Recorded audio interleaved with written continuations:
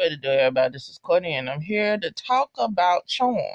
Yes, it's been a minute since I did a recap review off of Charm Reboot 2018. You know what I'm saying? I think I went through my videos and saw it like a month ago or whatever. Yeah, it's been a minute. Um, I had what happened? I had like stopped having any interest in it or whatever. My views were kind of low on it, which, you know, it is whatever. But I was planning on like playing catch up or whatnot. So what happened? It was uh, uh like last week I was on Tumblr and it showed this uh post on Tumblr about Charm. Cause my main thing about Charm was was they gonna whitewash the whole uh uh you know like their culture you know the different girls culture cause we got black we got latina and all that stuff. Uh, what's the magic gonna be? Are they gonna are they gonna whitewash the magic in the motherfucking show? Like are we gonna have you know not just whatever wiccan or whatever you know it's different magical paths. You know we got santeria voodoo hoodoo. We got uh motherfucking palo. We got uh uh uh uh what else? Um, Voodoo. Uh, did I say Palo Santeria? Uh, and it's another one I can't think of it on top of my head. I can't think it right now. And all that stuff. You know, being that the cast is motherfucking multicultural and all that shit.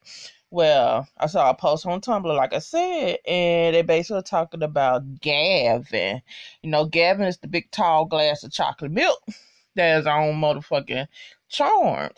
And uh, come find out he's Haitian on there, and his mom, you know, put some good juju on him and all that stuff. And they were breaking up. Uh, I think they was breaking up about um. I think it's one in one of the latest episodes dealing with uh voodoo and all that stuff like that. And I was like, what? And I said, what? I think like voodoo and um and some other some other motherfucking magical path. And so that was other than, you know, just, you know, Wiccan or whatever. And I like, oh, for real, y'all? Well, I might just go uh give it back, give it another watch over and all that shit. See whatever. So I'm I'm watching it and all that, and I don't watch uh the third episode. Now I'm on the fourth one. But this video right here just gonna be based a little my thoughts on the third episode. It's not gonna be a recap and all that stuff. I just did a one one through, you know, a one through. So we know the girl that was up in the coma from the uh uh from the uh first one or the second episode. Kind of find out she got the harbinger of death in her, and so basically her judge is she likes to eat motherfucker virgin virgin meat. And guess who's virgin? One of the sisters and all that stuff. It's Macy. It's the pretty one, the tall, the black sister. And so, which I didn't know. But then, you know, like I was kept saying, like I want to see some more about homegirl's background and shit. Macy, you know, what the fuck, you know, like what family you know, the mom just chunked her aside and all that stuff. You know, what about the family that she was with? And so when um Mel is a male, the baby I call her the baby one, the one that read minds. Um, the baby girl, she was like, you know, trying to do a party and all this stuff. Cause you know her main thing is about that goddamn sorority and all this stuff. She a young please. She just trying to get in that fucking sorority. And so when she basically did a glamour a glamour spell on her, and basically did a glamour spell on the whole fucking house and shit for the party and all that. And you know, Mel, uh, uh, no, not Mel, Macy, you know, she was walking around through the motherfucking Halloween party and everything, dressed up like a, you know, what she said, Supreme Court Justice, the old, the old woman, the old woman that looked like she might need a nap and all that stuff. Her and um, and so baby sister is like you know, let's hook you up and everything. You know, cause you pretty, you need to dress, you need to be beautiful. Uh, which she is, she is so fucking pretty. And so she basically, you know, they had uh the baby girl had, you know, had her dressing up like Laura Croft, and she like no, and then you know, basically came back like you know, the sister had some kind of thing about being sexy, and you know, like that she wasn't that wasn't her judge, and she wasn't, you know, she was awkward in that type of way, and so, you know, uh, you know, the baby sister like, you know, well, what's wrong? And she's like, I can tell you feel some kind of way about, you know, flaunting your attributes and you being sexy and shit. What's good? And so the girl said, I was like, God damn, even her home life wasn't shit. The motherfucking daddy, her daddy, chunked her ass to the motherfucking uh, boarding school when she was eight. Did She said eight years old. When she was a kid. I was like, I like for real. Chunk this girl for real. And now I'm thinking, now if the mama known that, would she have uh, snatched her kid back? So you just chunked the child to a fucking boarding school, and then the girl, and then the girl said, "When you the only, you one of two, are the only two motherfucking pieces of color in that whole school." Just think of that, y'all. Oh my goodness. I shudder to think, man. So she said her friend Tasha became the thought, was the thought friend. And Mel, and not, why don't keep calling her Mel? Macy said she gonna be the motherfucking smart one. And I bet you money that Macy was prettier than Tasha. I bet you money. I bet you money. And I ain't saying that and I'm not saying that due to the fact that she light skin. I ain't saying that shit. I'm not saying that. But just think, and she said that was her friend. So, oh my God, y'all, just think. Now I wonder where she was growing up at before her dad decided he gonna chunk her ass up into a motherfucking boarding school. That's a culture shock, I bet. Cause you know, folks gotta gotta realize that when you're used to a certain environment, and different environment have its own mythos, have its own culture.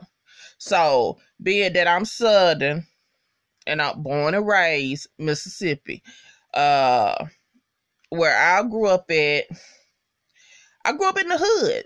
I grew up in the hood, but see, I don't know how it is in like different areas uh, all across the world. See down, you know, like okay. I talked to like some kinfolk out of California and all that stuff. And you know, uh whereas they don't like not really say projects, but you know, hoods be like houses, yards and all that stuff and everything. Same thing here. But uh, you know, we had that. But other spots the hood, the hood is ain't number projects. So motherfuckers ain't used to yards. Motherfuckers ain't used to this and everything. So regardless of being black or motherfucker people color, hell, you bring a, a nigga that ain't used to houses or whatever and put him in a motherfucking environment where it is houses, where it is yards, where you can run outside and not worry about whatever. It's a culture shock regardless. So I was just wondering, like, for that girl, what was it? I guess that just shook her to her fucking core. And now I'm mad. I want to know why her punk ass daddy sent her ass off. So, you know, and see that right there, that kind of it deals it peels back layers off of her because she is not as, as affectionate as the other sisters. Now, you know, uh uh uh Maggie. Ain't that the ain't that the middle middle one?